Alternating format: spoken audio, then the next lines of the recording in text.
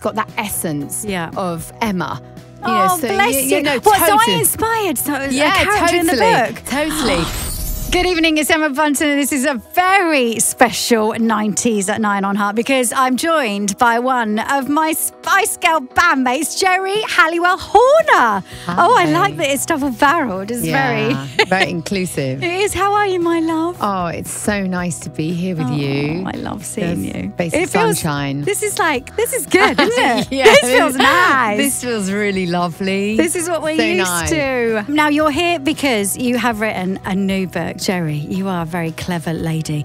Uh, Rosie Frost and the Falcon Queen. For people who haven't got it already, Yeah. can you tell us a bit about it? Rosie Frost, she's an ordinary hero, um, vulnerable, and it's about finding the courage you never knew you had. That's a modern day hero. This is an adventure story, but if you want to find your power, if you need, want to stand up to bullies, or you feel marginalized or different, these four rules will help anyone. So, Anne Boleyn gave them to Queen Elizabeth I. She became the greatest monarch. Then they're given to Rosie, and she stands up against the bullies. But you can use a rule. So the rule number one, to keep it simple, is have courage. Second one is united we stand, divided we fall. It's just like you and I. I need you, and you need me. That's a really important rule. The third one is never give up.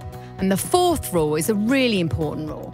And it says, to thine own self be true. If you don't like these rules, make, up, your, own. Very perfect for you, perfect Make for up your Tatey. own. Do you know what I Absolutely. mean? I just think anyone can can do with that. Yeah. I mean, Rosie has to go through so many things in this book, obviously, and overcome lots of things. There must be part of you in Rosie.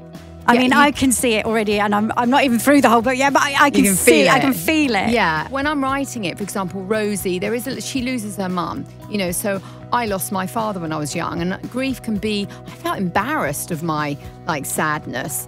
And so what you deal with, that she does it in letter writing in a diary, that she sort of talks about that loss, but she's really angry. And so I put that in there. And then the the first chapter in the book, I wrote it last and because my editor said to me you need to like show where rosie came from. And so i wrote it and it, after i read it back i didn't realize i'd just written what i experienced. I was in a school classroom and i got pulled out saying your dad is dead. Oh my God. uh, and so but i just used it. Does that make Yeah. sense? You sort of wrap it up in a different way. Yeah. you sort of use those feelings. But then you might find like charlie is my favorite one of my favorite characters. He's gorgeous but he's got your kind heart. He's like one of the good guys in life. Do you know what I mean? He's got that essence Yeah. of Emma. You oh, know, so bless you. know, what, so I inspired so yeah, totally, in the book? totally. what I do is I take characters and put them sort of bit of you. It's like being a chef, Yeah. so to speak. The energy that it it takes, my goodness. Well, you said seven years as well. How did your family feel about Okay, so Christian was like eye rolling at me sometimes when I'd go off for hours disappearing with Rosie. Yeah. And then I'd want to read him little bits, and he'd, he'd say, No, I'll, I'll read it when it's published.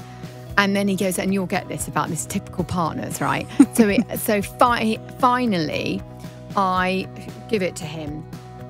And he, this was like, he was just getting on a plane, this was a few weeks ago. And he went, the first thing he got into 100 pages of it, and he went, Oh, it's much better than I thought it would be.